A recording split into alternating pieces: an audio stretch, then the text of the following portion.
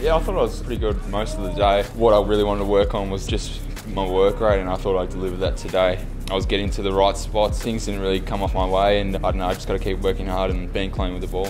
His presence in the midfield, especially the second half when we were. Uh, you know, the game was on the line. I thought he really stood up and got a few clearances, good runs out of out of stoppages for us. So, yeah, I thought he was pretty important today. Just want to keep flying for my marks and just, you know, busting out packs and using my pace, I guess. So without trying to top myself up, just keep playing to my strengths.